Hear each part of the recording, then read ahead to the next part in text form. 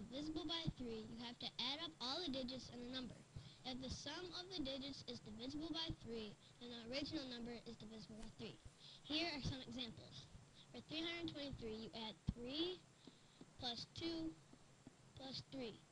That equals 8, and 3 does not go into 8, so 3 does not go into 323. For 432, you add 4 plus 3 plus 2, that equals 9, and 3 goes into 9, so 3 goes into 432. For 511, you add 5 plus 1 equals 6, plus 1 equals 7. 3 does not go into 7, so 3 does not go into 511. For 606, you add 6 plus 0 plus 6 equals 12. 3 goes into 12, so 3 goes into 606. It's challenge time!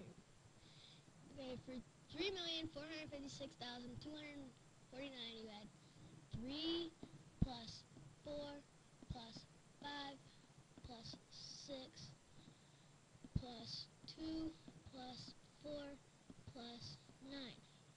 That equals 33. If you didn't, if you don't know that 3 goes into 11, you add 3 plus 3 equals 6.